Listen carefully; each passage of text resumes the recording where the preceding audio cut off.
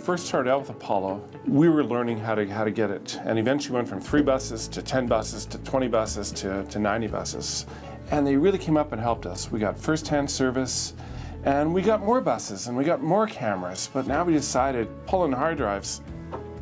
They drop, they fall, they break, you lose the data. We want to do this wirelessly. We want to download these videos. So we talked back to the Apollo and says, hey, we got a, we got a solution for it. We can fix this up. And the guys came up again. They helped us with the software. We were able to wirelessly download the video.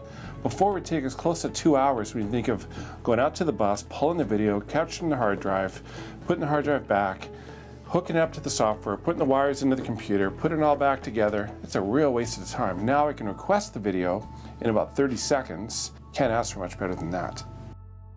We have probably caught 35, 40 people over the last eight years who have stolen something. They've stolen a laptop, they've stolen a backpack. We watch the video, we take a screenshot of it, we share it with law enforcement. That person's not going to be doing it again. Back in 2008, we thought the quality was great. But if I look back on some of those older buses, the difference is night and day. It's like my own Betamax and watching something on Blu-ray there's a big improvement and it makes a huge difference. We're able to identify license plates.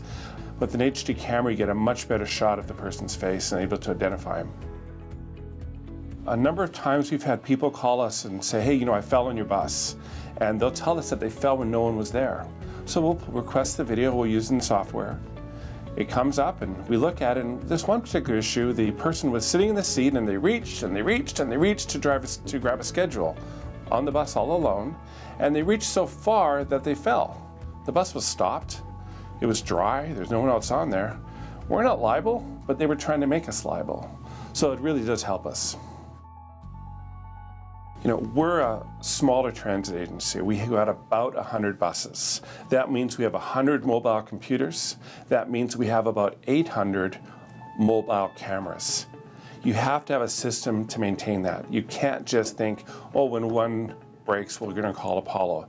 You need to work with your vendor, have them set up a schedule, have them have a suggested parts list. How many spare cameras do you need? How many spare DVRs do you need? To make sure that your technicians are trained to do a hot swap. The mechanics use the system to check to see if it's working.